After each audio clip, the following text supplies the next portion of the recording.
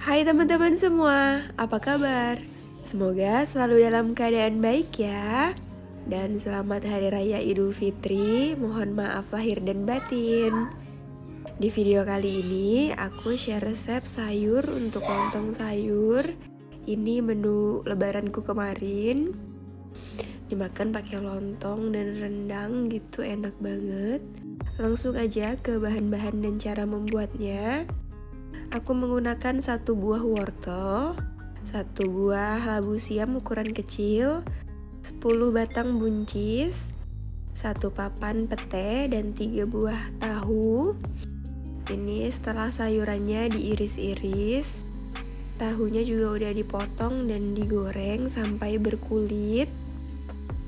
Selanjutnya, siapkan bumbu halus, 8 buah bawang merah, 6 siung bawang putih, 1 ruas kunyit, perempat sendok teh ketumbar bubuk, 3 buah kemiri yang udah disangrai, 2 buah cabai merah,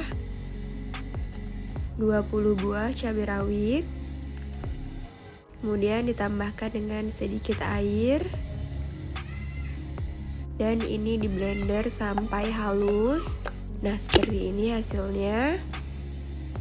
Selanjutnya, panaskan minyak goreng, masukkan bumbu halus,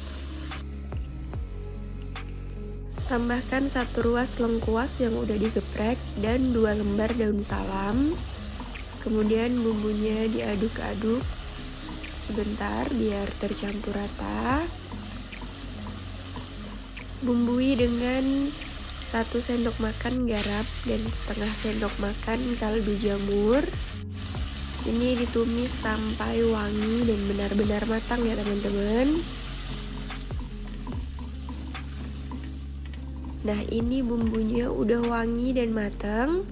Selanjutnya tambahkan 700 ml santan kekentalan sedang. Aduk-aduk sampai santannya beruap gitu sampai hampir mendidih.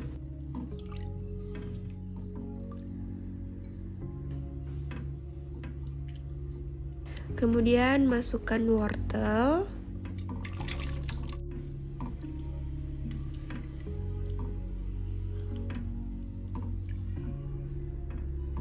Diaduk-aduk sebentar. Kemudian masukkan juga labu siam dan ini diaduk-aduk terus sampai beruap lagi dan agak mulai mendidih. Baru kemudian masukkan tahu dan petenya aduk-aduk terus sampai mendidih.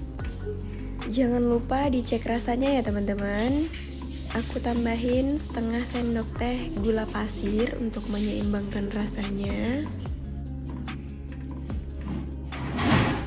Nah setelah mendidih masukkan buncis Aduk-aduk sebentar Sampai kembali mendidih aja. Aku mau buncisnya tetap agak crunchy ya teman-teman. Jadi setelah buncisnya dimasukkan Ini cuma dimasak sebentar aja sampai mendidih lagi. Tapi kalau teman-teman mau yang buncisnya lunak gitu Bisa dimasak lebih lama lagi. Nah ini udah mendidih matikan kompornya.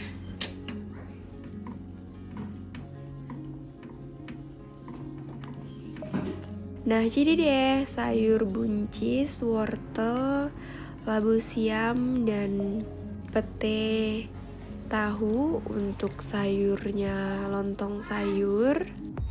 Ini biasanya jadi menu lebaranku. Dan lebaran kemarin aku juga ini menunya dimakan pakai lontong, rendang, dan kering tempe enak banget. Terima kasih banyak ya buat teman-teman yang udah nonton, like, komen, dan nge-share video aku. Buat teman-teman yang udah subscribe channel aku, terima kasih banyak. It means a lot. Sangat berarti dan sangat aku hargai. Sekian dulu video kali ini. Sampai jumpa di video aku selanjutnya. Dah.